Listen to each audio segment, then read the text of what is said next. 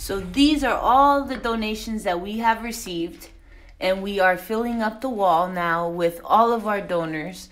We have cancer families donating. Um, we have our monthly donors still helping, and then all everyone that is letting their heart go gold for childhood cancer.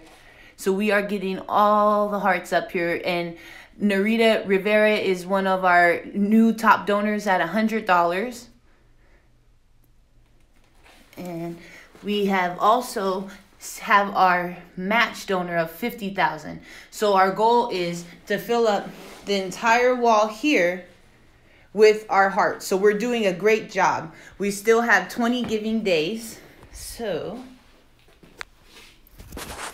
we still have 20 giving days until the big give. So we are doing absolutely phenomenal.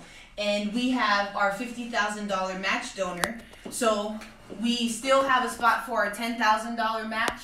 And if we get a $10,000 match donor, that gets us one step closer to our $50,000 match donor and a $20,000 match donor.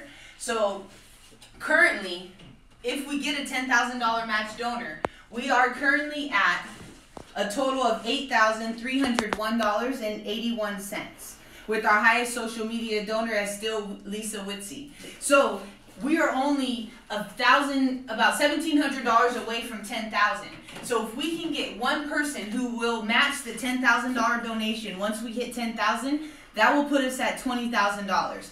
So there's lots of ways to participate and to be part of the big give. And what will we do with a hundred thousand dollars? So if we can get to fifty thousand, we'll get the match and it will put us at a hundred thousand dollars.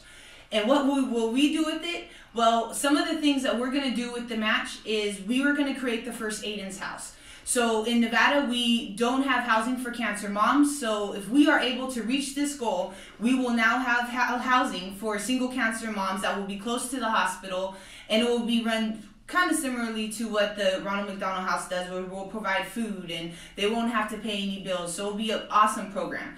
And then we'll expand our Cooper's Cooler program. So when we a family gets diagnosed with childhood cancer, we will come out, we'll give them a cooler, which is a survival pack for them. But we're going to expand that program when we raise the 50000 and get the $50,000 match to give them a grant at diagnosis. So they will get a check for $500 at diagnosis to help them because I know when Aiden was diagnosed, I didn't go to work. I stayed at the hospital. So that's a, a very big time where families need help.